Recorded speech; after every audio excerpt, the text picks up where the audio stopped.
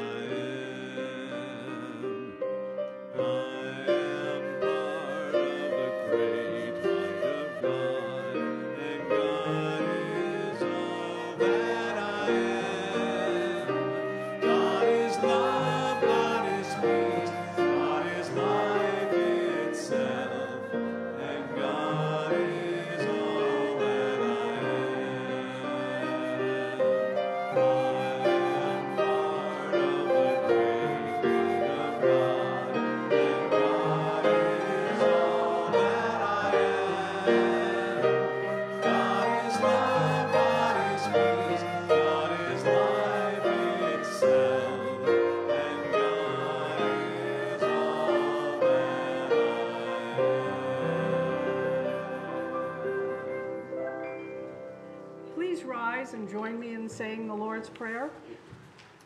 Our Father, who art in heaven, hallowed be thy name. Thy kingdom come, thy will be done, on earth as it is in heaven.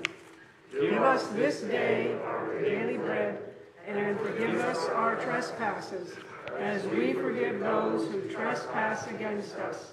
And lead us not into temptation, but deliver us from evil. For thine is the kingdom, and the power, and the glory forever. Amen. So join, join me in singing our congregational song, which is I am in the whole, I am at home in the heart of God.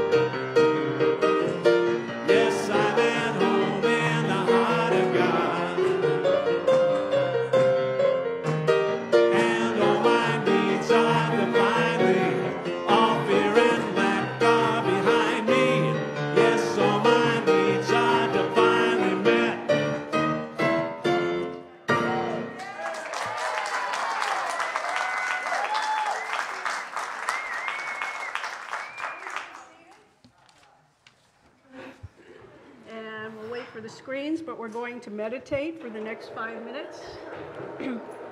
so I will invite you to close your eyes and silently repeat the mantra God's the love that I am. God's the love that I am. If your mind wanders, just bring it back compassionately and lovingly to silently repeating the mantra God's the love that I am. And I'll bring us out of the meditation in five minutes.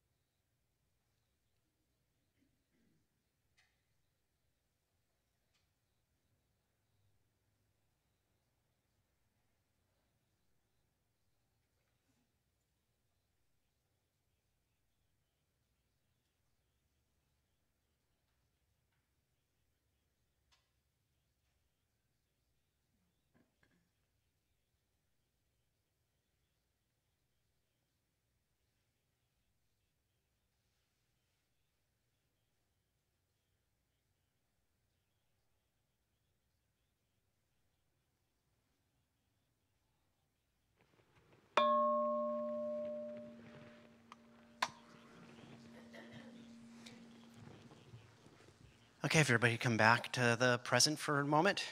Um, I'm Blair Thompson. I'm president of the board of NHCRS. I'm uh, uh, glad to be here. Um, we need your help. Next week, next Sunday at 11:30, we are having our annual meeting.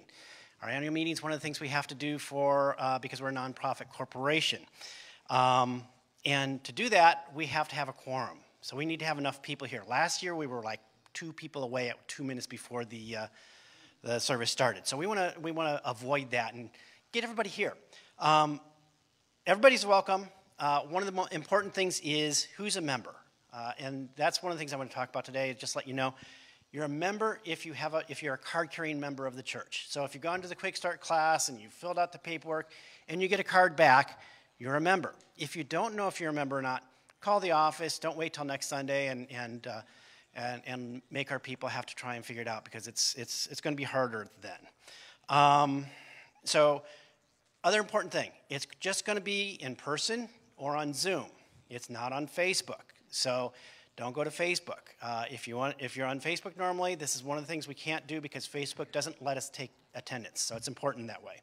So go to nhcrs.org and click on the big Zoom button, and you'll get into the Zoom meeting. Um, when you sign on, sign on with a name that makes sense. Don't sign on with Mickey Mouse or Minnie Mouse. Uh, sign on with your name. If there's two of you there, have both of your names on your sign in. That makes it so much easier for the people who are uh, hosting and taking attendance. Um, uh, uh, uh, let's see, as a bonus, we're going to have the whole band here next week, right, Sam? Yes, so we'll have some great music. Um, and we've had a lot of people asking, just as an aside, uh, we will be continuing our COVID protocols kind of indefinitely um, so that uh, we're respecting each other, so that we can everybody feel as comfortable as possible. Um, we're not going to be the first to make changes here. We're going to be kind of among the last because we just think it's, it's fair to everybody else. Um, so next Sunday at 11:30, come to the service. Stay for the meeting. Come to the service. Eh, don't come to the meeting. It's okay. Just check in, um, and that's what we need you to do. Um, so I look forward to seeing you here. I look forward to seeing people in person and online. I think Reverend Sin's got something a lot more fun than what I talk about. Well, the service is at 9:45, but the meeting is at 11:30. So don't come for the service at 11:30. You can come the following week because that's when we go to two services. Now, you all know that one of the things we do really well here is food. So, if you come to our in person meeting next week, you will be ro- rewarded not by a potluck, but by a dessert luck. This is your chance to bring dessert, which we'll eat after the meeting as a reward for your attendance and, you know, whatever, just to hang out. Um, so, whether you want to bring pie, I like coconut cream, or just a bag of Oreos, I like those too. We want to see you here. So, I hope you will join us. And yeah, dessert luck Sunday, right?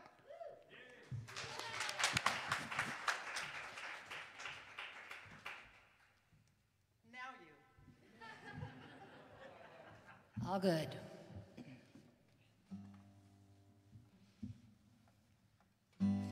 Before the story, before the body, before the name, beyond the mind's attempt to find or explain.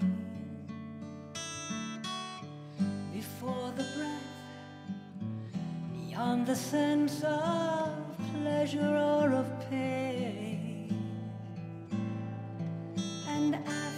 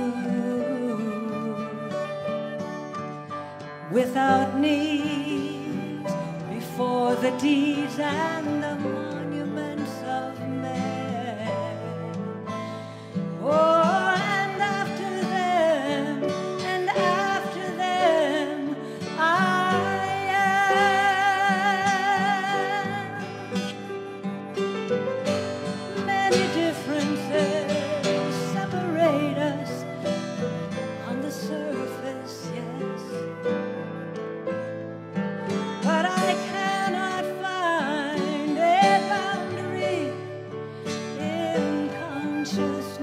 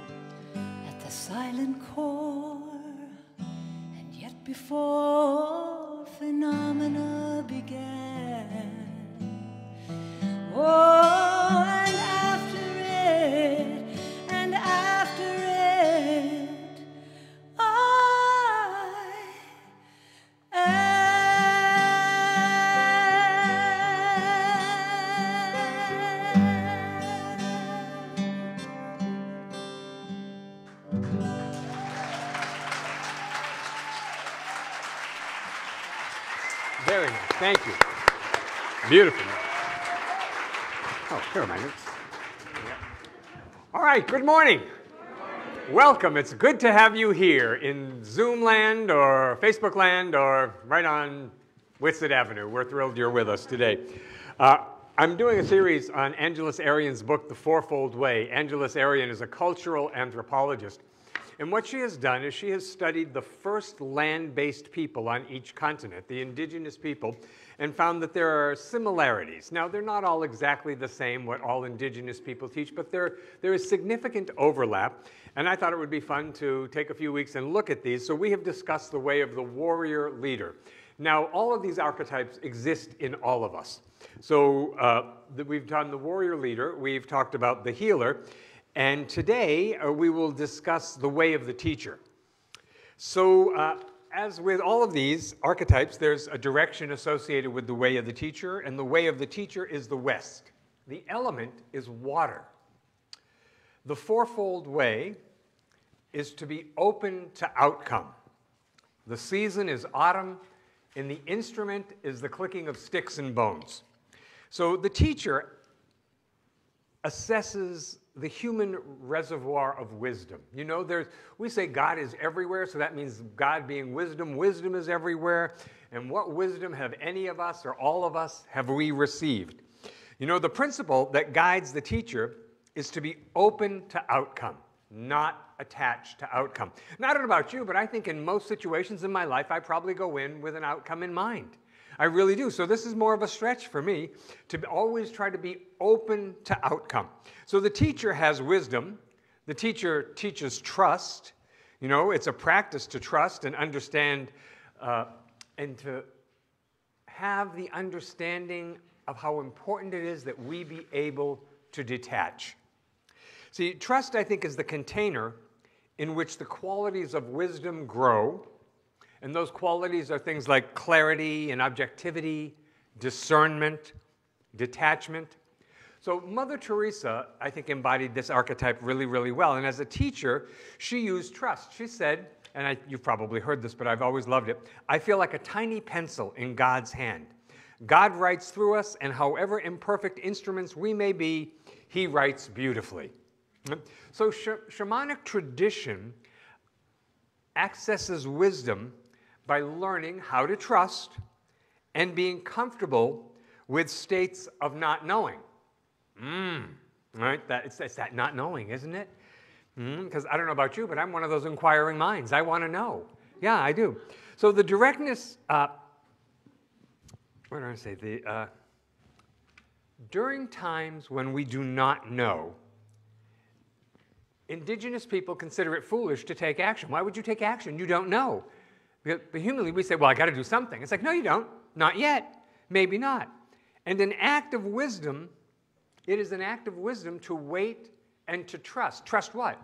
Trust in a power greater than we are. Trust that more will be revealed. Trust that now is not the right time, but another time will be. See, I think that in, in shamanic traditions, there's a character of the trickster, certainly in Native American uh, traditions. Uh, and the trickster functions as a teacher, but a teacher in this way. And, this, and I wonder if we don't have somebody like this in our life. That the, the trickster in shamanic traditions functions to uh, shock people into seeing their attachments. The trickster shocks people or says or does outlandish things so that people become aware of their own habitual patterns. Because what the trickster is ultimately doing is the trickster is teaching us something about detachment.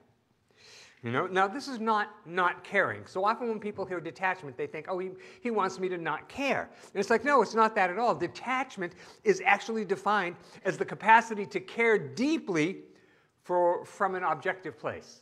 See, so I can care deeply, you can care deeply, but we can do that while we inhabit a very objective place. So, what causes us to lose our sense of humor? There's a question there. Because if there's any place in our life where we lose our sense of humor, that is a place where we're attached. Yeah, absolutely.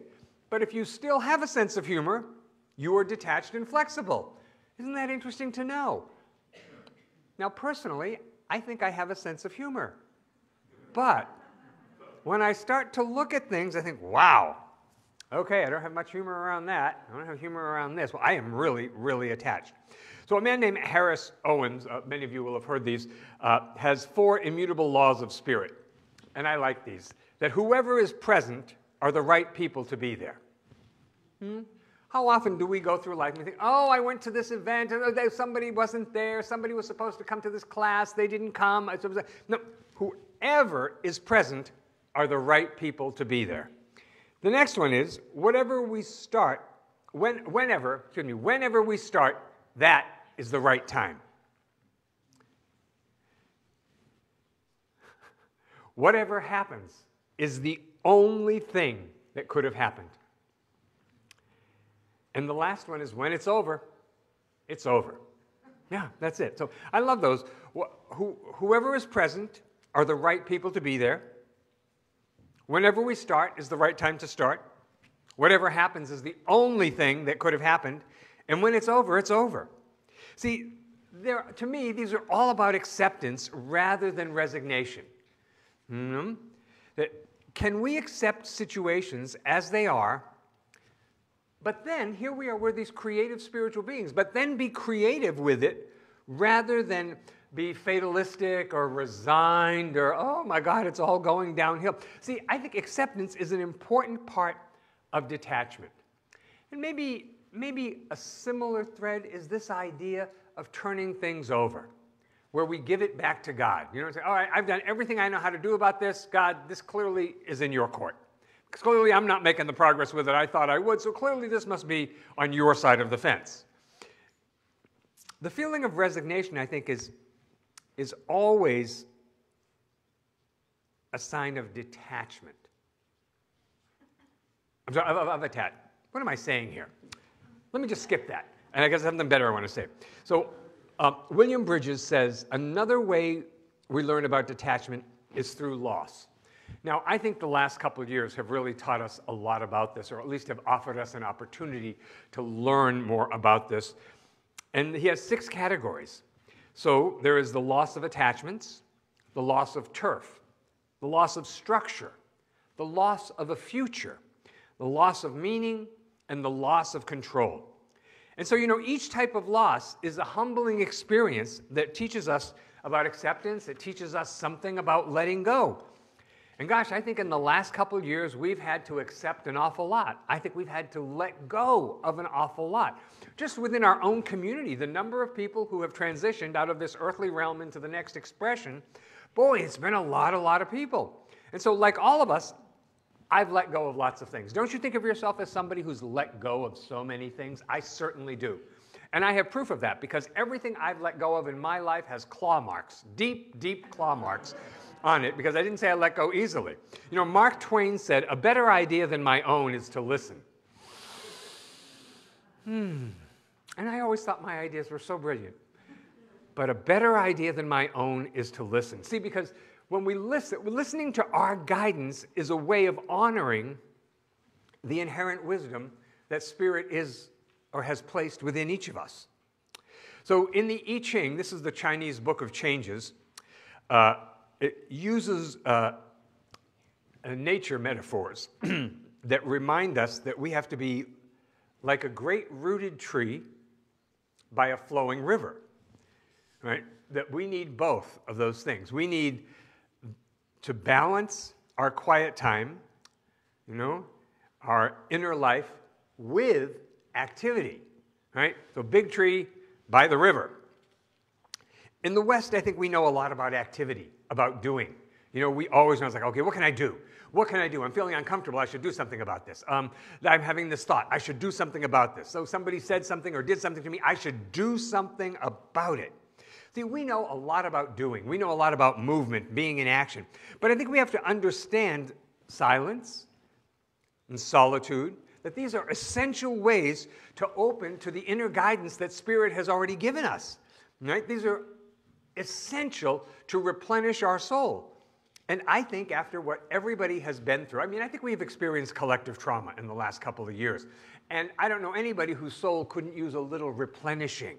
Right? And so one of the things that will do that is for us to spend some time in silence. So in Stephen Mitchell, Stephen Mitchell is a great translator of, uh, of spiritual texts, and he has a translation of the Tao Te Ching. And he says, True mastery can be gained by letting things go their own way. It can't be gained by interfering. Wow, that is such a reminder to me to stay on my side of the fence, you know? That there are things that are just not my business, and all that I am to do is to include them in prayer and surround them in light and love. So, to develop the inner teacher, there are things that Angeles Arrien suggests that we do. Right? So, it's not about being a teacher in the world, it's about developing the inner teacher uh, within. And she says, yes, sitting, sitting meditation is really important. Asking for guidance. Your higher self knows exactly what you need to know, do, be in any and every situation. But you know, we have to sit silently and ask for it to be revealed. I, you know, I've always loved this quote by Mother Teresa. She says, God is a friend of silence. And it's like, oh, don't you have anything else? You know, a friend of silence. Oh, I want, you know, because I'm just an active mind kind of person here. But also, one of the things that really supports us in developing an inner teacher is having some increment of time on a daily basis where we are in solitude. Don't think, oh, I'm all alone, because when you're all alone, you sound like such a victim, you know? But I'm having a little time in solitude is a choice. It's empowering, it lifts me up. I don't know about you, but it, it certainly uh, fits for me that with all the loss that has happened, it's nice if there are some rituals for loss, just a way to remember. So, in my own life, uh, my parents are gone, uh, they've passed on. And so, but I pray with them and for them every day. And the way I do that is something that we teach that's really quite simple, but I feel like it really addresses it is that I praise my mother, I raise my mother in the name of love. I praise my mother, I raise my mother in the name of love. And then peace and joy and freedom, and I think we're good. You know? Um, this is also, it is also a component of the way of the teacher to um, honor our ancestry and now that's not really a science of mindy kind of thing, but I have found that in doing this, um, that in praying for my parents, like I said, who are gone, in doing that every day, I feel like I continue that relationship. I know my relationship with them has not ended because, you know, just their body is gone, their spirit continues on. And so, what I'm praying for is for the good, for the evolution of their spirit. So, I believe that these relationships continue to deepen. I, I think I've gotten closer to my parents since they're gone. Now, that sounds crazy, right? I'm the human, how can that be? How can that be? But you know, relationships change and relationships evolve. And so, one of those things that I get to do is, um, is include people who have passed on in my prayers every day. I think it's a mistake to think that, well, they're gone now, they don't have any problems. You know, you know they, they finished, they've graduated, they've got the graduate degree, everything's great for them. Well, you know, every soul has its own journey. And I know my parents' journey continues on, just like the journeys of so many people in our church that we've lost recently. Our beloved practitioner, Dolores Cartalucci, passed recently. Now, I know if there's a next for anybody, there was certainly a next for Dolores. You know, I mean, she was just that kind of a person. You know, um, uh, Kurt Bronner, who was one of the dearest men in the world to me, uh, passed recently. You know, so I know everybody has lots and lots of loss, and so we have to have a way to hold loss in, in a way that allows us to process it and be with it. You know, and, and I'm not I'm talking about being in denial with it. She says also that the teacher has to really use their wisdom on a daily basis. So I ask myself, am I objective? Am I someone who can wait if I feel confused in a situation? Can I be discerning rather than judging? So judging, you know, you know the difference. Discerning comes from your higher mind. It comes from the spirit of God within you. You know, and judging, it is not your higher mind. At least it's not my higher mind. It is definitely the lower mind as far as I'm concerned. Um, and will I make decisions where I have clarity? Mhm. I, I love that, that word clarity. Someplace I remember reading Ernest Holmes said if he had only one treatment to give, he would treat for clarity. Because clarity always indicates its own action. You know, when our mind is clear, it's like, oh, okay, now I know what I'm supposed to do. Now I know. Now I understand. So I think, yes, we honor the roots that we have in our life.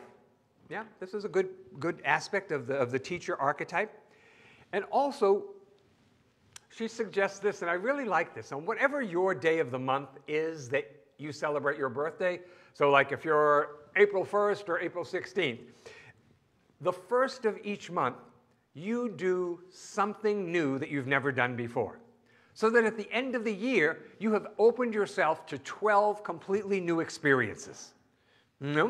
You think, oh, that's not, that can't be that big a deal. But you know, I think it's a, I think it's a wonderful idea to do something new each month on your day. Hmm, each month on your day. And then also to be aware are there limiting patterns within me, within my mind, places that I go again and again and again in my thinking that I'm ready to release now? You know, as the teacher archetype, we want to be open to outcome, not attached to outcome. I think a question that's really worth asking ourselves are who have been my greatest teachers in life? Go way back. Go way back. If you remember your first grade teacher or anybody else after that, think about who were the teachers. Now, they're not always the teacher teachers. You know, people show up in our life. Well, we say that people come into our lifetime for a reason, a season, or a lifetime. Hmm? And so sometimes people who come in just for a reason are for, to give us an opportunity to have a really important teaching. Who are the sources of inspiration in your life today? I mean, who out there in the world that's doing something, that's saying something, that's got a message that lifts you and fills you? All right, who are the sources of challenge? Because here's where the growth is, right? There's always got to be that. So where am I very attached personally? Where am I very attached professionally? Can I just be where I am, even if I'm not clear? Am I okay with that uncomfortable, uncertain, I'm not clear yet?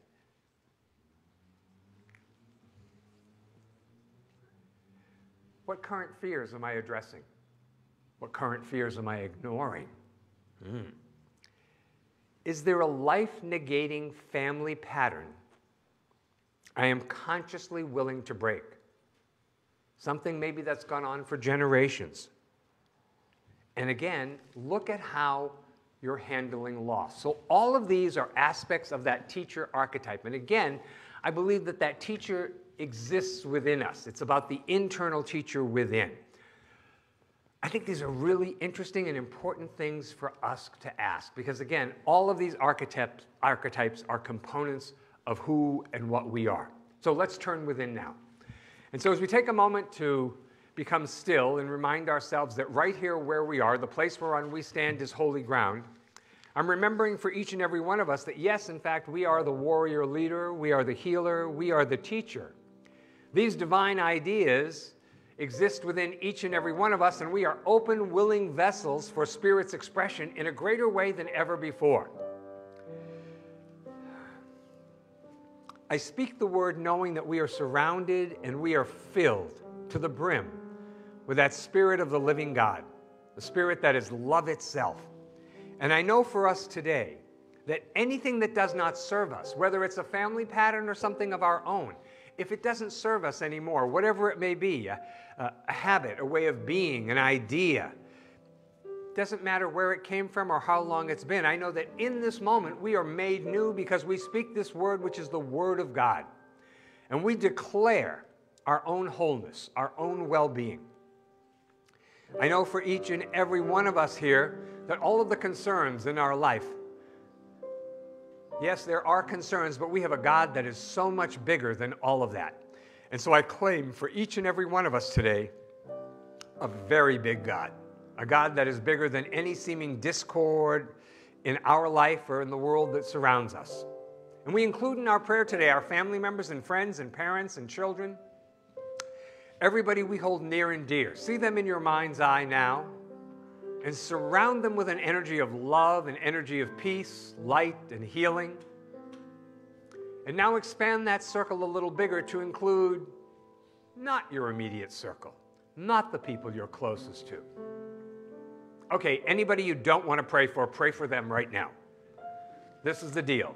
This is the gig about expanding our consciousness, opening our heart, so that there is only an energy of high regard, of spiritual love for all people everywhere. And so we let this emanate out from us to touch all people on the face of the earth, everyone, everyone included. And we speak our word for peace and health and love and all needs met for all people everywhere. And so, with an open, gracious, full heart, I say, Thank you, God, that this is the truth for each and every one of us. Thank you, God, for the life that we live and for the community that we share, for all of us together. And so, with an open, gracious, full heart, I release this word into God's perfect law, and so it is. Together we all say, Amen.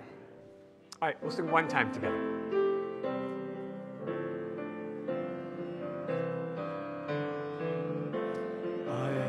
So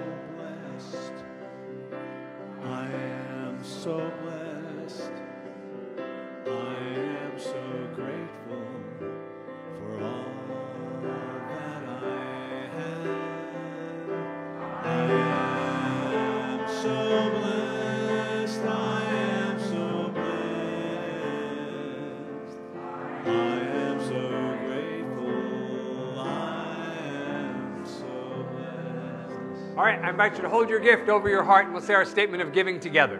From the love of pure spirit within me, I bless this gift. I send it forth to heal and bless and prosper. It is evidence of my faith and belief. It does good work in the world and returns to me multiplied abundantly. Thank you very much.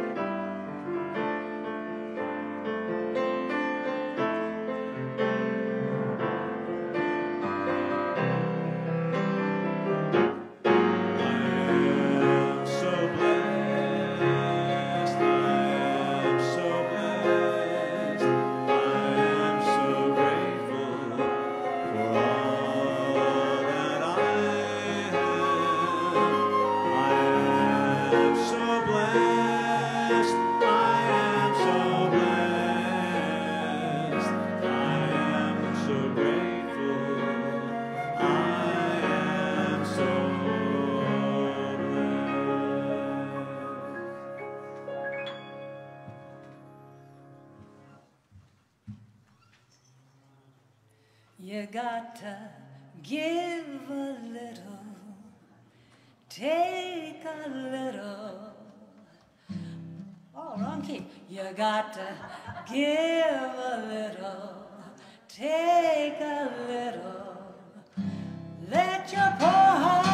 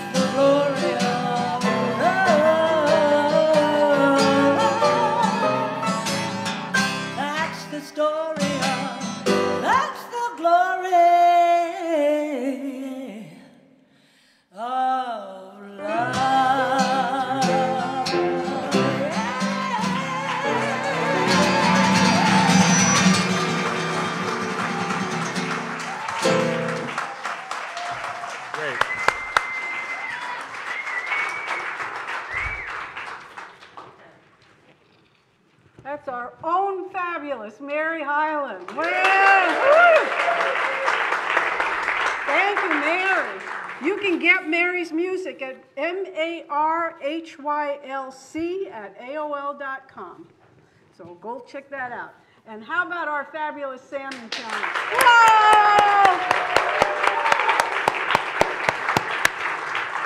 Great music every week. Thank you. Okay, uh, so if this is your first time at our church, we are delighted you are here.